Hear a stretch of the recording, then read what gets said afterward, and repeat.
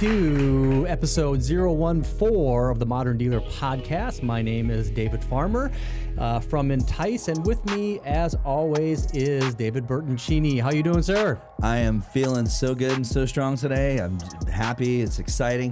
It's the first week of October. It is. Man, we are just rolling into Yeah. the first couple days of the last quarter of 2019. So uh, hopefully this video will live evergreen. But just looking at it as it's a it's a whole new beginning, man. I love October. It's just October. October is a, a beautiful time of year, rolling into really what's going to happen super fast. I think we talked about it a little bit last week at, or last episode uh, about uh, how quickly we kind of go through and um, where uh, uh, some stores might may even have Valentine stuff out. uh, uh, uh, but yeah, we got uh, we got uh, Halloween, we got Thanksgiving, we got Christmas rolling into the new year. So today, z- episode 014 of the Modern Dealer Podcast. Um, but before we get going, let's just see what we're doing for our coffee check. Man, we got. Uh, I, I went with Kahwa today. Just uh, did the, the Kahwa coffee. Just thought it was something good. The old Um, standard the, Kahwa the old coffee? standard nitro. I, I do nitro because, like I said, we're in Florida. It's freaking hot. Yeah. Doing hot coffee. Now that it's October, we can get a little spice in the Well- lattes and stuff like that. I, I'll roll into that in the Mm-hmm. next couple weeks. But um, weather pertaining, Florida winter is from like uh, January 1st to January 14th, maybe. Right? Yeah, exactly. That was about it. Yeah, But, uh, exactly. I did wear my my since we're talking digital today. I went old school digital and I wore my Pac-Man. 8-bit Pac-Man. Waka waka waka my Pac-Man today. So We got a little new addition. We got a sock cam going on today. Stock cam is on it. Yeah. So we got uh, So- Pinky and Blue from uh, Pac-Man and uh, my whole '80s uh, throwback uh, digital socks. So Phil, we went digital. We'll go all digital in, right? Yep, I love it. And you can see we've got a little uh, 80s uh, theme going on here. We got the Kool Aid guy. We got uh, uh, Marty McFly and. Um, we got Doc Brown, and usually I think Marty and Doc are hiding a bit because they're really not able to catch them at the right angle. You're not getting it over here. You're not getting over here. So yeah, what But you got the wide angle Yeah, exactly. So what you're not seeing uh, usually is uh, our buddy Mar- Marty McFly and the Time Machine. Uh, so you're, we're getting a little bit different view here. Not only getting the sock cam, but we're getting the uh, the iPhone 11 uh, wide angle of MB, MDP Studios. Fancy Pro edition you got Yep. there, Mr. Farmer. It's very nice. Very nice.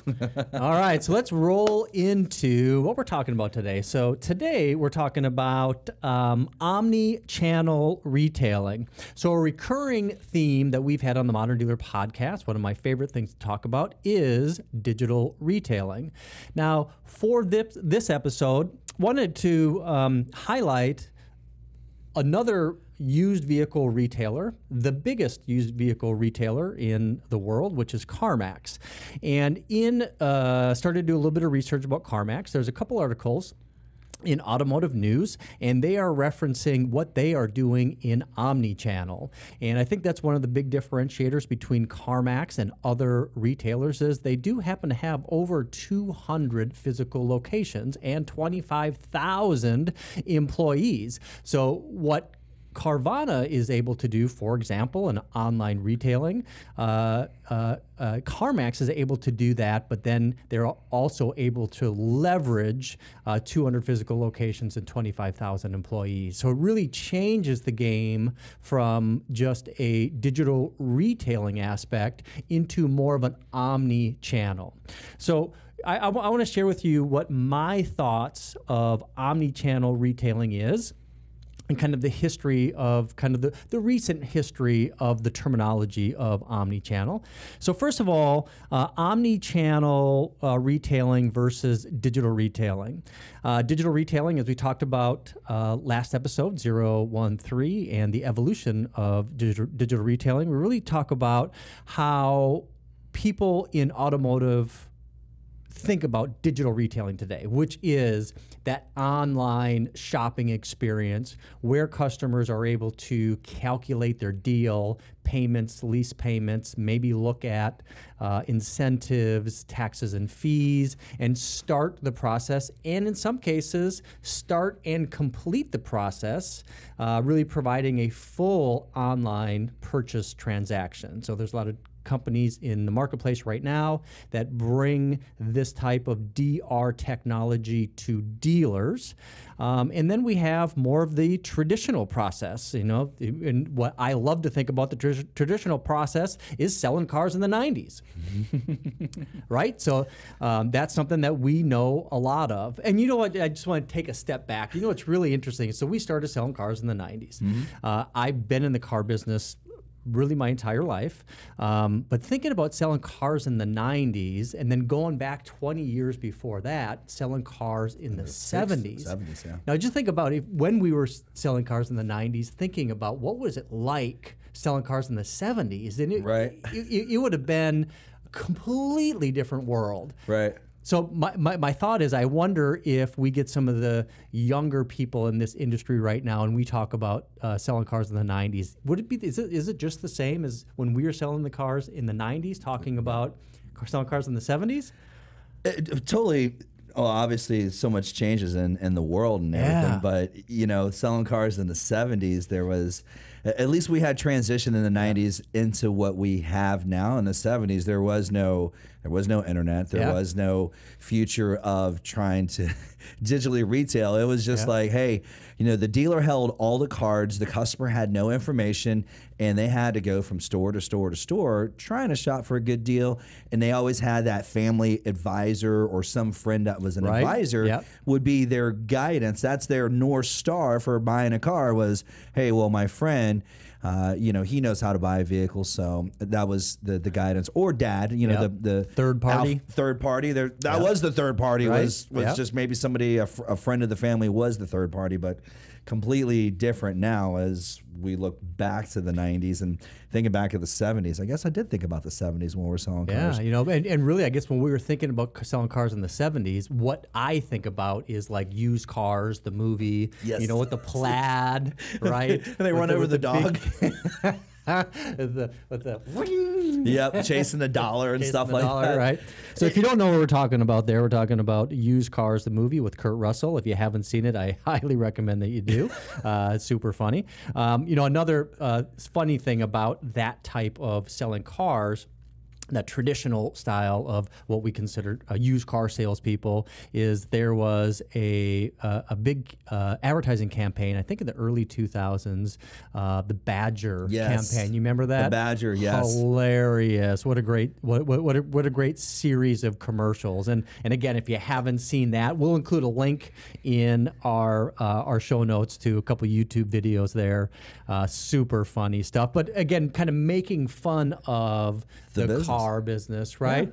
And really so what we're talking about we're really not too far off of what omni-channel really is. So that's kind of the traditional retailing of cars. Um, Last week, talk, we talked about the evolution of uh, digital retailing, utilizing technology to uh, assist car buyers. Uh, talking about the traditional sales process, or what we think about the tr- traditional, you know, non-technology assisted selling, and then somewhere in the middle is really what you want to think about omni-channel retailing. And this really i think is a better way to characterize how customers want to buy cars. Uh, a couple a couple episodes ago we had uh, sam robbie from brandon honda honda uh, uh, visit with us here at the modern dealer podcast. And we spent a lot of time about more of a hybrid approach. So I think instead of calling it a hybrid approach, what we really need to talk about is an omni-channel. So a traditional channel, a um, a digital channel, and how that kind of all works together as an omni-channel way of retailing. So that's kind of my definition of what omni-channel is versus uh, the know, traditional retailing and digital retailing. And it actually reminds me of. Um, back in 2004, uh, I think 2016, um, I, I had the opportunity to speak at Digital Dealer. And one of the things that I included in my presentation was a study that was released a couple years prior to that, which was in 2014, uh, an omni channel uh, study by Google. And uh, they really researched how customers are using digital uh, in their purchase experience, whether it's for automobiles or whether it's for any other type of product. And one of the things that really stuck out to me and resonated with me uh, over the last few years is how people are utilizing smartphones or uh, you know in the sales process and it is this is back in 2014 so this is five years ago. So you know that these numbers uh, have increased substantially. They practically doubled. Yeah, I, I would say.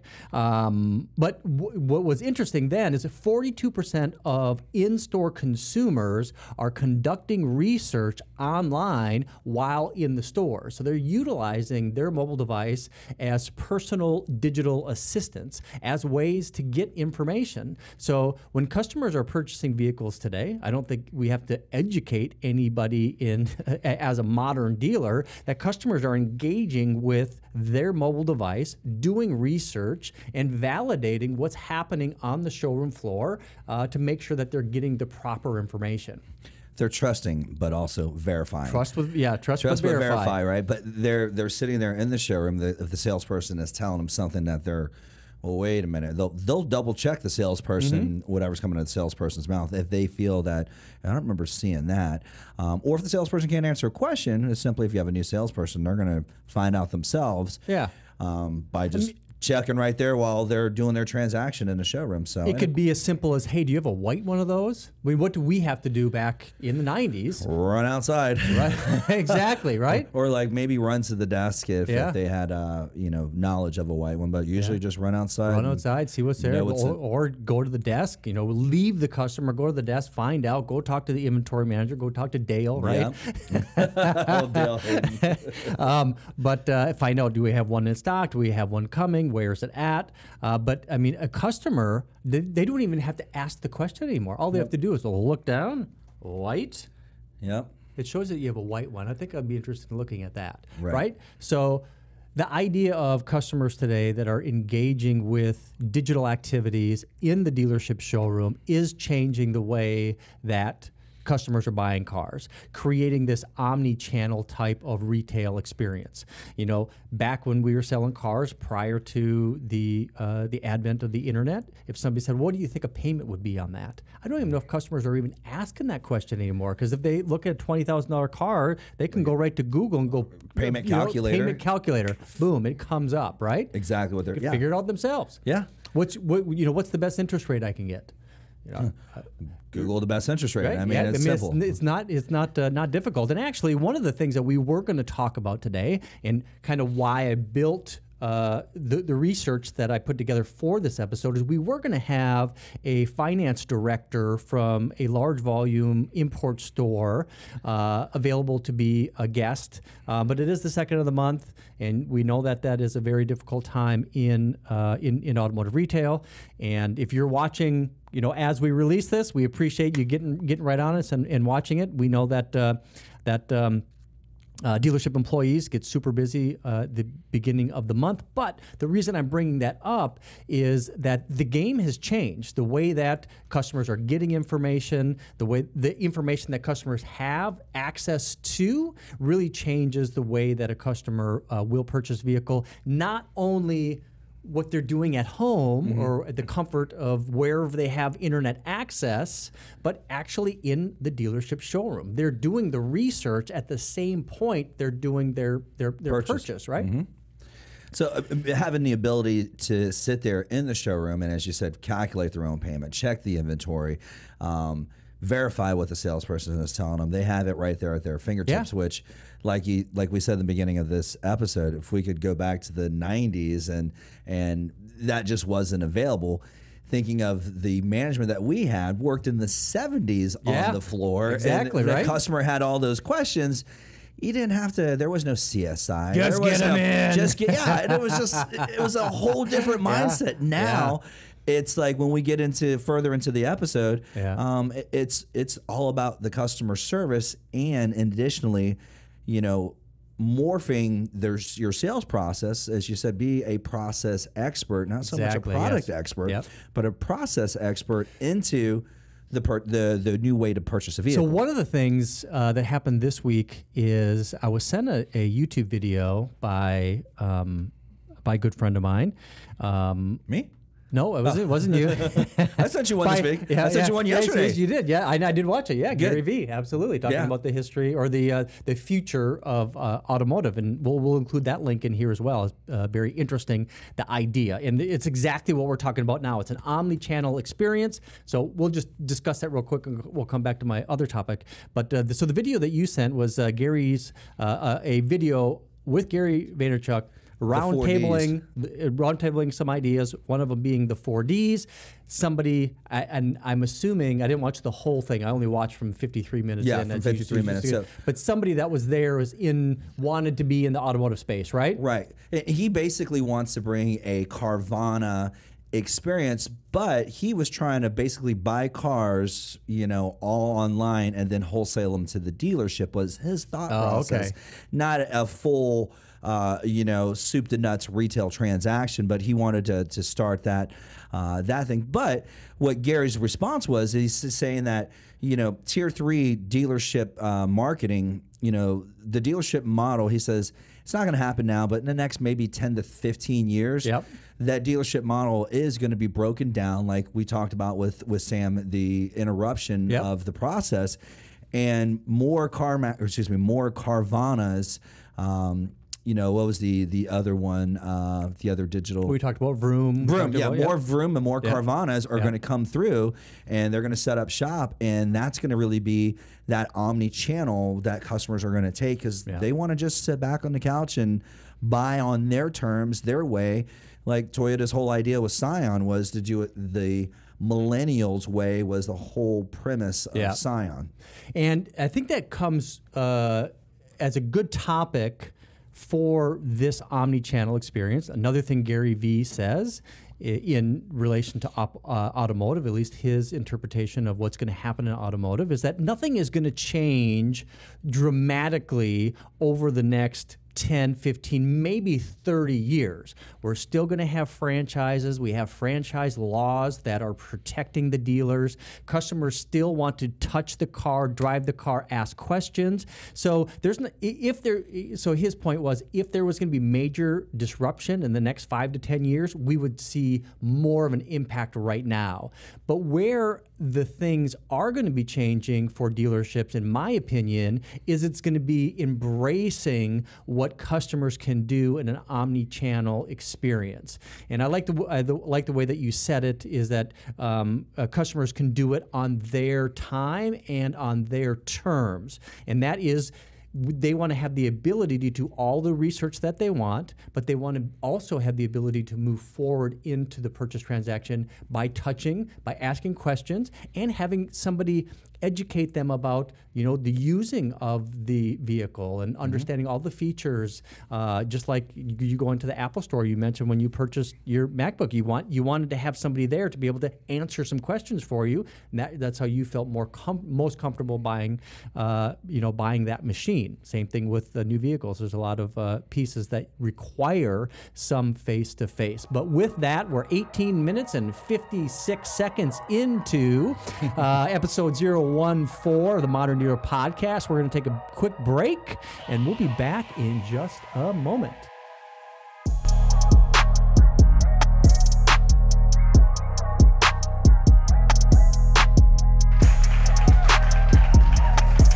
Welcome back into the second segment of uh, episode 014 of the Modern Dealer Podcast. We're going to jump right back into the point I was trying to make earlier. But actually, let's go ahead and skip that. Uh, so, one of the things we wanted to do is we wanted to bring up uh, another movie that we, that we were talking about with Suckers, right?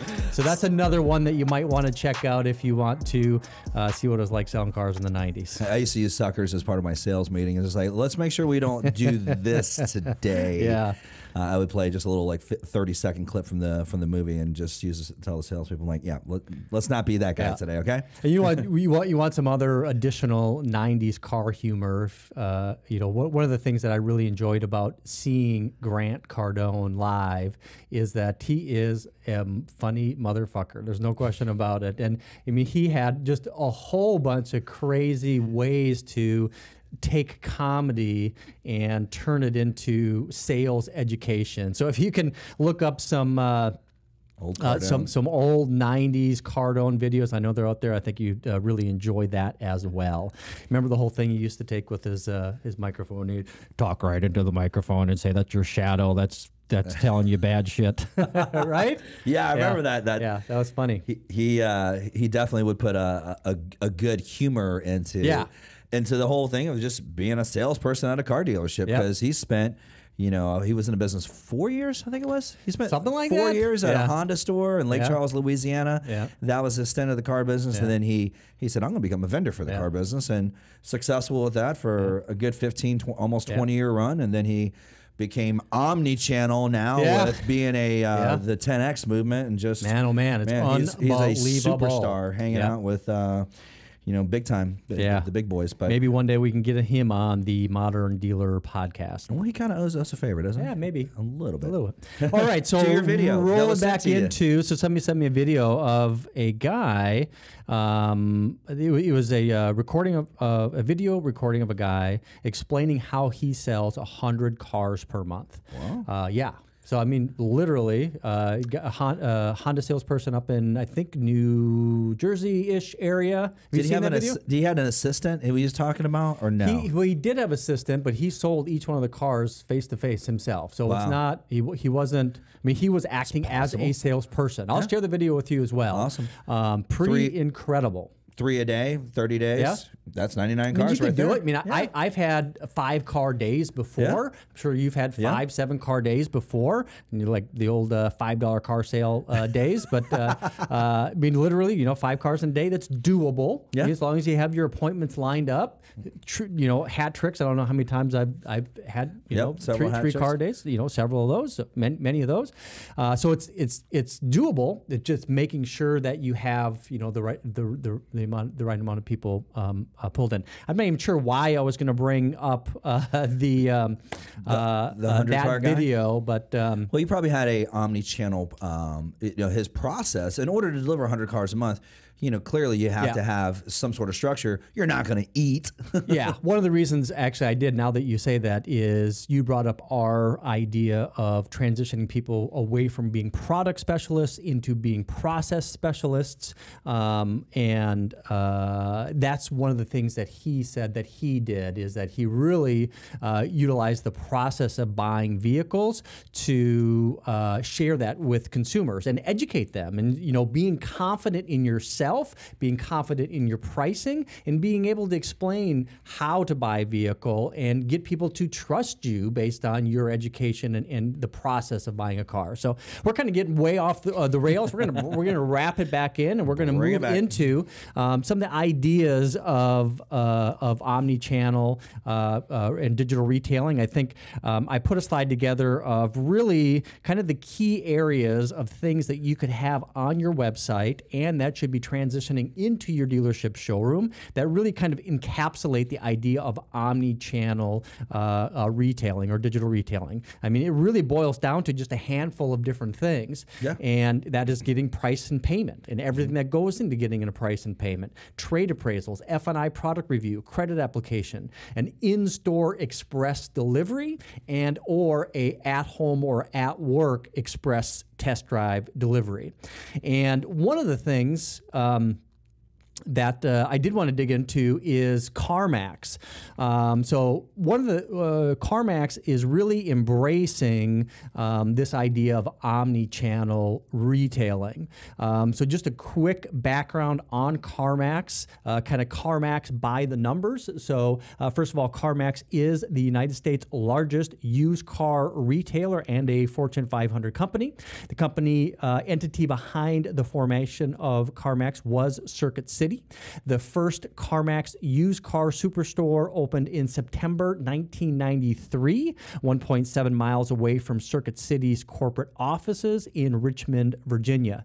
And one of the things that I, that I did find when I was doing a little bit of research on CarMax is the reason that they started into uh, automotive retail is that they were looking at ways to expand Circuit City. And they're- they, Circuit City had a very, a very high saturation of retail locations. They couldn't couldn't grow by adding more physical locations, Mm-hmm. so they had to grow by choosing different products to sell, and that's where they they thought that there was an opportunity in uh, CarMax. That's an oversimplification of it, but that was kind of the spark of the idea: is you want to grow your business, you need to grow it outside of consumer electronics. Right. Well, it's a good thing they had a plan B because plan B, plan A didn't work out so well. Yeah, and well, the demise of Circuit City was really customer service. If you talk to anybody that was in electronic retail, they would tell you that like Best Buy gave you a better customer experience than Circuit City. Now, I think the CEO had probably taken that lesson. And when we talk about, you know, how that customer was saying, "Hey, I want to, I, I can't come to the dealership," a competitor gave me, uh, you know, pricing on a vehicle. You guys have a similar vehicle sitting on your lot there at CarMax. How can I get it?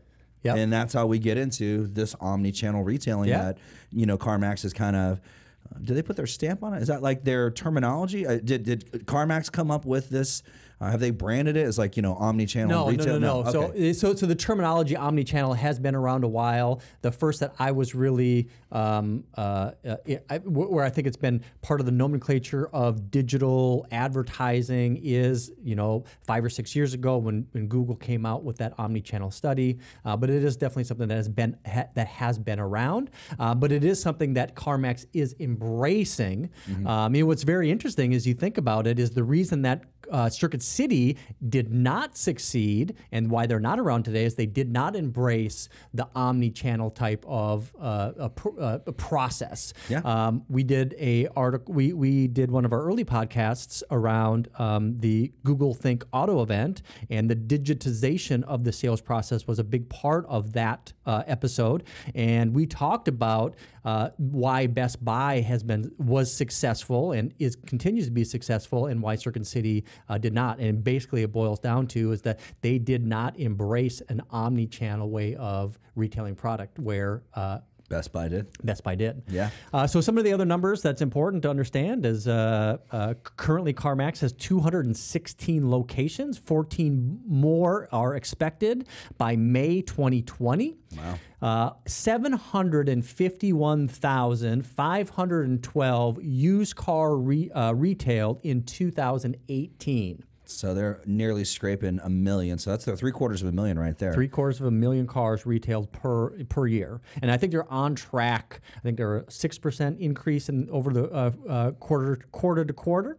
Uh, they did have, also had an increase in uh, PVR uh, quarter one for 2019 over uh, previous quarter uh, at 2183, very Right. respectable.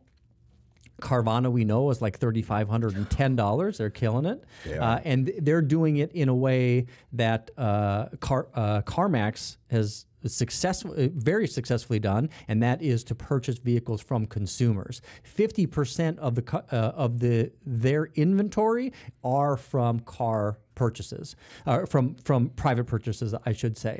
Uh, Fifty thousand used vehicles in stock.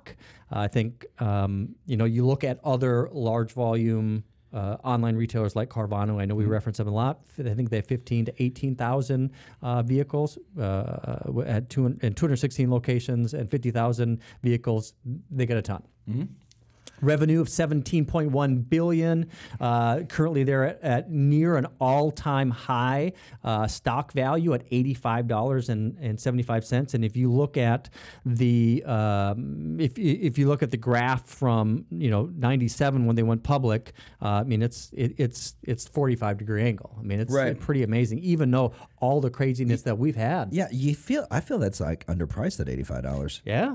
I mean, look Yeah. at the, the the stock value of Facebook today. On although Facebook's Right, more yeah. global, but Yeah. this is the number one used car retailer in the United States. You'd think they would have a, a little higher stock value. Yeah, especially when you consider assets. Yeah. Yeah, Yeah. I, mean, I mean, look at they're adding 14 more stores, and then the next what's that? Eight months from now? Yep. That's a lot. that's Yeah, a lot exactly. Of, a lot of uh, stakes in the ground. Um, one thing that that stood out about uh, CarMax to me was going back to as a consumer. If you're thinking about it as a consumer, if you're a, a dealership and you have multi points, and let's just say you're a dealer group of 20 stores, and you have a customer looking at a used car, and your website actually covers all 20 of your points making it easy for that vehicle if it was you know 200 miles away at one of your sister stores to be able to transfer that car Right. carmax got that out to the consumer early and made it easy for the consumer to say hey i like this car in your inventory but it is 200 miles north Mm-hmm. of you at another look it's in jacksonville florida and we're down in tampa florida it's two, over 200 miles away so they made it easy for the consumer to, to do an omni-channel purchase of that vehicle in Jacksonville, pick it up at their local CarMax location. So they made it easy for the consumer that way, and that's you know part of the whole process.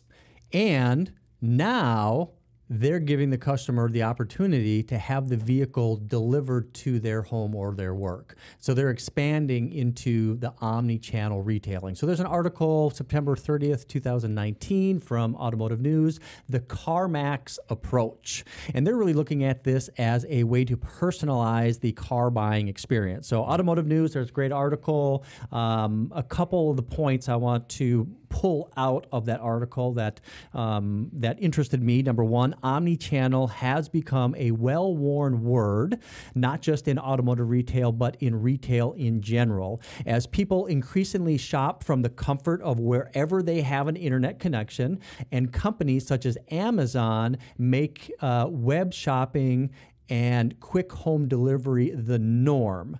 So CarMax omni-channel stu- uh, uh, strategy boils down to personalizing the customer's car buying journey, whether that person is at a physical store, online, or chatting by phone with a company representative. So the way that they're a- attacking this is they're actually building uh, what they're calling customer experience centers.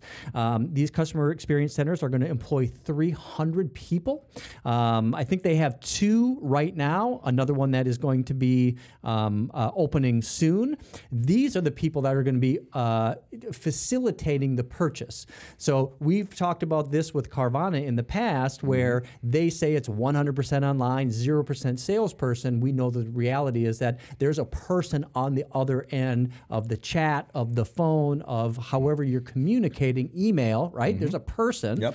whether that's a salesperson or a customer experience uh, concierge, um, it is a salesperson that's facilitating the transaction. So, so the way that um, CarMax is creating this uh, this evolution is to really embrace the omni-channel type of retailing, where a customer from the comfort of their own home, the comfort of their own office, they're engaging with car buying uh, exploration activities online. They can engage with somebody right there. They can facilitate the entire transaction. And one of the things that they talk about is kind of you using this kind of as a prototypical experience of a uh, of a female car purchaser um, that they reference in this article. A- and she had just um, she had a newborn and was not able to take her you know into a newborn to a car dealership to try to purchase a vehicle so they brought the vehicle out to her and that was a uh, a good move and that was kind of the uh, the catalyst for this whole um, you know, omnipres omni-channel approach. Omnipresent. That's that's Grant Cardone's uh, slogan Yeah. right there. But uh, omni-channel approach to to car buying. Um, you know, and this just came out. You know, just a few days ago. Um, this CarMax approach, but realistically, it does mirror a. lo- It does model quite a bit the the, the Carvana experience. Yeah. So well, this so this article just came out. They actually launched this as a beta back uh, last year. Um, there's actually May. ano- another. Uh, there's another article, June 24th, 2019. Yeah, so a few months ago, um, where, where they continued to talk about the rollout of the omni-channel uh, capability, uh, offering a seamless car buying experience to consumers who shop online, in store, or both, which really is the idea of omni-channel shopping online, in store, or both. Um, as the CEO of CarMax said, this is the future of car buying. It's important that we provide customers with the ability to shop on their terms anywhere, anytime. So th- those are some of the key pieces uh, that I thought was uh, very important about the idea of providing an omni-channel retail experience. Now, there's more information that we can get into We're 15 minutes into our second segment of uh, the Modern Dealer podcast. So, what we're going to do is we're going to start kind of wrapping this up, David. And the way that I want to wrap this up is um, I. I like the idea of what we do in the podcast here, and that is we take a topic, we kind of do a mini deep dive, we tried to find some articles that reference some good information that we can research. Some of this is going to be brand new to us. Uh, it kind of expands our uh, our knowledge. We hope that we're kind of providing some um, some ways to. Um, to spark some innovation at your dealership. And that's kind of the goal of what we're doing with the uh, with the Modern Dealer podcast. So what we can learn from this idea of the omni-channel retailing, what can, you know, the question is what can we learn from the largest retailer of used vehicles is that omni-channel is important, that this is the future of car buying and there's some specific things that you can do um, and, and one of the things that you can do is to really embrace uh, omni channel uh, retailing. So, one of the things that we do from a company standpoint, from a vendor standpoint, is we supply our dealers kind of digital retailing in a box. Now, when a dealership uh, you know starts down the road of digital retailing I think it's important to understand that this is an evolution of car buying, that it is not a new way to sell cars. It is a way to expand and create new ways to communicate uh, the way you sell cars with customers. So it's this omni channel approach. I think that supplying digital retailing activities that are designed to kind of 100% purchase your vehicle online is not uh, going to appeal to most of the buyers. Um, but uh, where I'm kind of going with this is that embracing omni-channel means that you do have to create new ways for customers to engage with car buying experiences online and being able to communicate that so we do that with what we call shopper express uh, where car buying should be easy and we supply a unique selling proposition to a dealership um, with use of videos, with use of um, in store point of purchase, and integrating this process into the existing dealership model. Um, so, this is a way for dealerships to really start on the path of, um, uh, uh, you know, expanding their retail model into um, into the omni-channel type of selling cars. And and and actually, if I open up uh, one of these pages, for example, um, uh, we, you know, we look at six simple steps to buy your next vehicle online. Of course, you're able to take your pick, you know, get your best pricing up front, being able to calculate your payments. And I do want to just take a step back. Is that you don't have to use our technology to do this. I think the technology can be utilized from any of the providers, but it's how you're positioning it. How are you educating the consumers? So, uh, but these are the elements that you need to think about. How, how are you going to price your vehicles? Are you going to give your customers the ability to calculate a payment, lease payment, taxes and fees, incentives, right? Purchase transparency. Purchase transparency. How are you going to how are you going how are you going to create the transparency into your process? Um, and tools should help you do that. Personalize the trade value uh, being able to get trade values uh, instantly uh, being able to research and select protection plans. Um, we know that they bring value to consumers right yeah, be able to explore an F and I product, which you know, if we had had our guest on today, we would have got a little bit deeper yeah. into an F and I product. But I, I, just want to lightly touch on it real fast. Yep. And if a customer could get more information up front about F and I products, they would see more value in it versus trying to slam people into an F and I product, and then you know, two days later, you're you know, they're back in the F and I office trying to unwind yeah. out of that product, and you're sitting there scrambling. Your F and I manager's trying to you know shoestring the deal back together with the product in there and asking to cut the front and yep. put more in the trade so you can keep his product in there. But if we gave him information about the product ahead of time on your website, or you know however we you can deliver it to the customer they would be more educated about it and i say you know what that tire wheel does make sense because i just you know there's construction down the street from my house it took me two days to process that yeah. it does make sense so we start thinking about omni-channel. Omni-channel means that it's happening in your showroom, at the customer's house, in store, online, anywhere a customer has an internet connection. So giving these tools on your website also provides insight into that customer that's in your dealership showroom looking at that white Corolla and so you know while I'm waiting for them to get that cleaned up, I can do additional research on your website and learn more, justify on my time before I start talking to a finance manager. So it enhances the process, right? It's not just speeds it up, enhances it. Does Yep. does key replacement makes sense for me as a customer to buy? Well, Mr. Customer, these are not keys you can get cut at Home Depot. These are five hundred dollar, you know, processors. Yeah. I mean, these are like a, a mini computer that that you're using to start your your smart. Uh, your smart uh, start on your vehicle. Yeah. So I mean, it's like, oh well, I didn't think of it that way. Maybe the key replacement would be a good idea Yeah. if they had that information before going into finance. And they're and, like, yeah, and and we know that the quality of F&I products is there that they really bring value to consumers being able to create that uh, you know uh, create the value proposition you should be doing that on your dealership website you should be doing that in an omni-channel way it doesn't have to be step by step i purchased a vehicle i find out what my payment is and then i move into the finance department i mean if you and, the, and I'll kind of, start to, to wrap up uh, to wrap up now.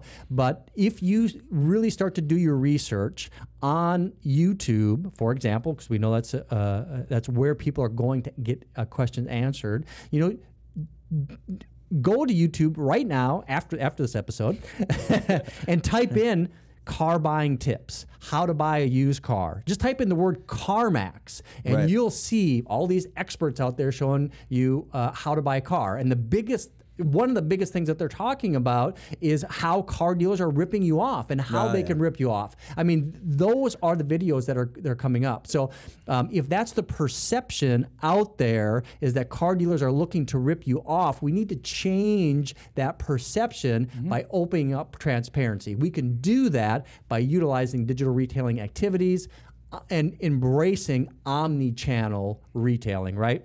absolutely. So Uh, with that, Let me give you my my uh, my three takeaways Yes. from from the the episode 014. For I'm going to go back a few episodes to what I identified as the three P's. It's your people, your product, and your process. This here, putting all those in alignment with your customer that hey i want to purchase this vehicle from this dealership i like their people and their process and of course their product um, aligning that up in a omni-channel uh, you know way to purchase the vehicle being you know hey i can start my process online. I like this this you know this product. I like the store. I can finish it up at the dealership just like when i referred to buying this uh, this macbook that i felt you know hey i'm going to buy it online but i'm taking delivery in the store because i need that guidance just like somebody would need some extra guidance purchasing a, a 2020 vehicle that's got some technologies they're not familiar with. Yep. so just a, a little bit of help with that but that's my takeaway on that there.